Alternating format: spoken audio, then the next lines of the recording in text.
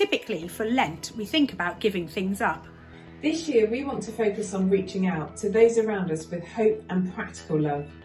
Not giving up, but reaching out.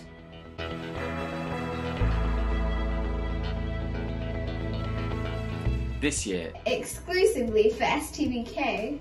We are proposing an online calendar which will offer each day a creative meditation to give us hope, a practical challenge to reach out in love, and a simple prayer to open us to the presence of God. A door to open online each day.